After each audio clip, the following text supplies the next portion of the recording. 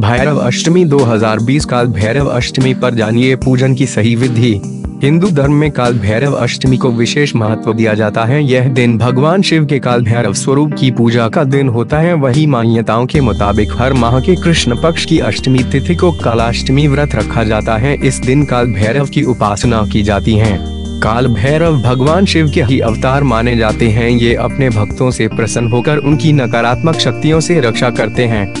बता दें कि साल का पहला कालाष्टमी व्रत 17 जनवरी यानी आज रखा जा रहा है। कलयुग में काल भैरव की उपासना करने से जल्दी फल की प्राप्ति होती है। तो आज हम आपको बताने जा रहे हैं काल भैरव को प्रसन्न करने के उपाय क्या हैं। तो आइए जानते हैं। पढ़े, काल भैरव पूजन विधि भगवान शिव के स्वरूप कहे जाने वाले काल भैरव की कालाष्टमी पर आराधना की जाती है। सबसे पहले सुबह उठकर स्नान करें और व्रत रखें। इसके बाद मंदिर में जाकर शिव या भैरव की पूजा करें। भैरव को तांत्रिकों का देवता माना जाता है। यही कारण है कि उनकी पूजा रात के वक्त की जाती है।